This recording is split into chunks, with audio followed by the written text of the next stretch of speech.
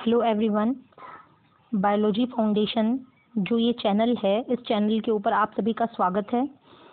जो भी बच्चे इस चैनल के ऊपर नए हैं, वो वीडियो को देखने से पहले चैनल को लाइक और सब्सक्राइब करें। आज की क्लास हम प्रोसीड कर रहे हैं आर्टिफिशियल हाइब्रिडाइजेशन के साथ। जैसे कि आपने देखा था कि आर्टिफिशियल जो हाइब्रिडाइजेशन है, ये नेचुरल कंडीशंस में पॉसिबल नहीं होता। वेरियस टाइप के जो डिज़ायर ट्रेड्स हैं या करेक्टर्स हैं, उनको क्रॉप में इंट्रोड्यूस करवाने के लिए हमें आर्टिफिशियल हाइब्रिडाइजेशन की हेल्प लेनी होती है। तो जो आर्टिफिशियल हाइब्रिडाइजेशन है, उसके जो मेन मेन पॉइंट्स हैं, वो मैंने यहाँ पर मेंशन किए हैं। आप लोग वीडियो को पॉज करके ये जो भी इम्पोर्टेंट पॉइंट्स हैं, उनको नोट डाउन कीजिएगा।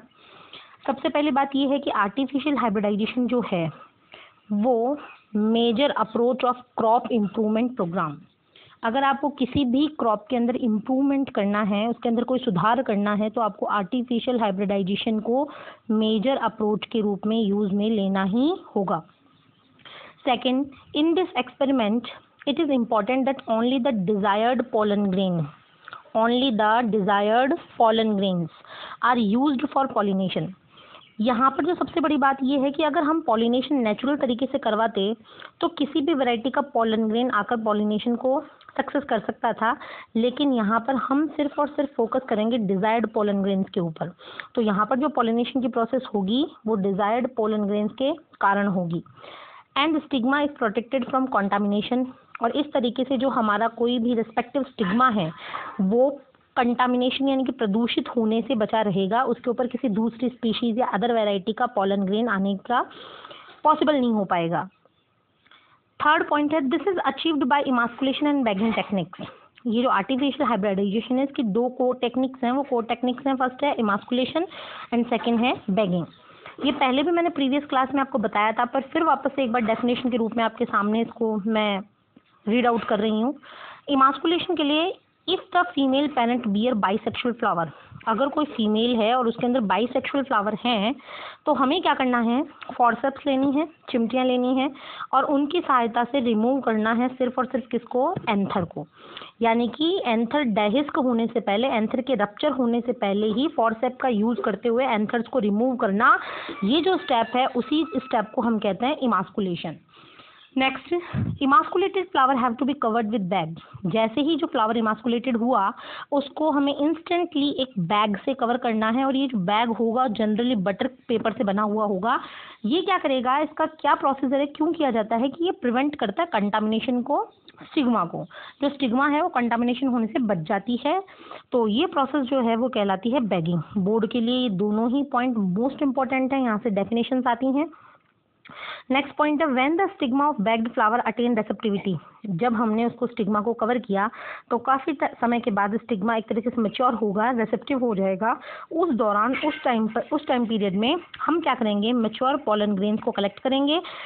And dusted on the stigma और वहाँ पर कहाँ पर डाल देंगे? स्टिग्मा पे.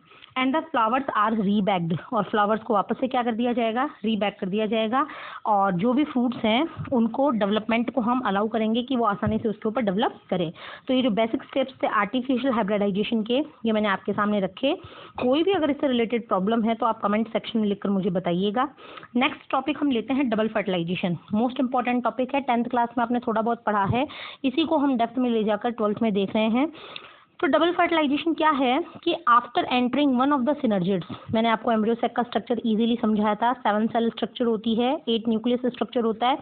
सेवन सेल के अंदर ऊपर वाली दो होती हैं सिनर्जिड्स जो माइक्रोपाइल एंड पे होती हैं। एक होती है एग सेल बीच में होते हैं दो पोलर न्यूक्लियाई और नीचे तीन एंटीपोडल्स जो चलाजल एंड पर होती हैं। आप प्रीवियस के वीडियोस को देखकर वापस से समझ सकते हैं। जैसे ही पोलन ट्यूब सिनेड्रिट्स में एंटर करेगी तो पोलन ट्यूब वहाँ पर दो मेल गेमेट्स को रिलीज़ करेगी। तो मोस्ट इंपॉर्टेंट बात यही है कि एक पोलन ग्रेन जब जर्मिनेट होता है तो उसमें से दो मेल गेमेट रिलीज़ होते हैं। One of the male gamete move toward the egg cell इसमें से जो पहला मेल गेमेट है, वो एग सेल की तरफ़ मूव करेगा और उसके न्यूक्लियस के साथ में जाकर फ्यूज हो जाएगा। चूँकि मेल गैमेट भी कैसा था? एनप्लॉइडी हैप्लॉइड था। और एग सेल भी कैसी थी? एन यानी हैप्लॉइड तो एन प्लस एन मिलकर जो लेटर कंडीशन में कंडीशन आती है, वो आएगी डिप्लॉइड डिप्लॉइड का मतलब टू एन जो हमारा जाइगोट बनेगा, वो टू एन कंडीशन का बनेगा। और ये प्रोसेस कहलाएगी syngamy next the other male gamete moves towards the two polar nuclei जो सेकंड मेल गैमेट आ रहा है, वो सेकंड मेल गैमेट जाएगा दो पोलर न्यूक्लियाई की तरफ़। मेल गैमेट कैसा है?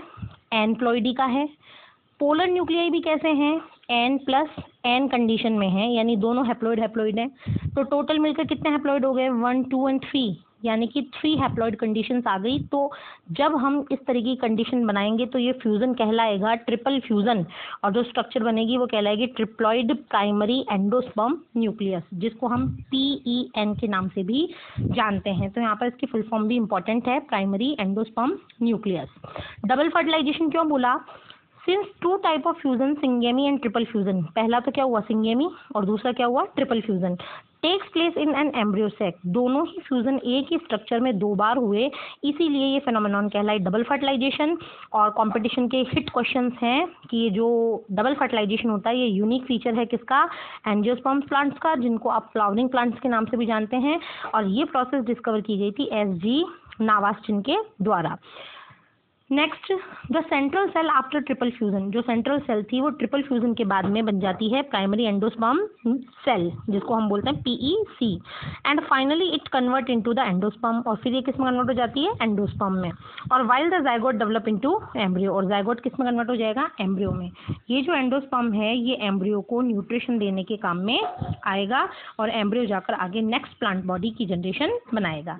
यहाँ पे डायग्राम के थ्रू आपको दिखाई रखा है ये डिजनरेट होती हुई सिनर्जिड्स हैं। ये जाइगोट बन चुका है माइक्रोपाइलैंड पे। नीचे एंटीपोडल सेल्स डीजनरेट हो चुकी हैं। बीच में प्राइमरी एंडोस्पर्म सेल्स हैं, जो कि आगे जाके एंडोस्पर्म बनाएँगी और ये प्राइमरी एंडोस्पर्म न्यूक्लियस है। तो यहीं पे मैंने मेंशन किया है कि जैसे ये एक मैंने आपको यहाँ पर स्टेमन दिखाया हुआ है। स्टेमन में ये ऊपर एंथर और ये नीचे फिलामेंट इसके अंदर पॉलन ग्रेन्स भरे हुए हैं। जैसे ही ये एंथर मेच्योर होगा तो ये सारे के सारे जो पॉलन ग्रेन्स हैं डेहिस्क होकर एनवायरमेंट में आ जाएँगे यहाँ पर। एनवायरमेंट से पॉलिनेशन के थ्रू ये पहुँचेंगे स्टिग्मा पर और स्टिग्मा पर जाकर एक पॉलन ग्रेन यहाँ पर डेवलप होगा पॉलन ट्यूब बनेगी और पॉलन ट्यूब से दो मेल गैमेट यहाँ पर निकलेंगे। तो फ़र्स्ट जो मेल गैमेट है वो जाएगा जाइगोट के साथ में और जो सेकंड मेल गैमेट है वो फ्यूज हो जाएगा अपना टू पोलर न्यूक्लियस के साथ में। तो पहले वाले मेल गैमेट ने फ्यूज किया एग को, दूसरे वाले ने किया प्राइमरी एंडोस्पर्म न्यूक्लियस के रूप में। तो इस तरीके से एक ही एम्ब्रोसैक में ये जो फ्यूज़न है, वो फ़र्स्ट और सेकंड बार होने के कारण ये प्रोसेस कहलाती है डबल फर्टिलाइजेशन अगर कोई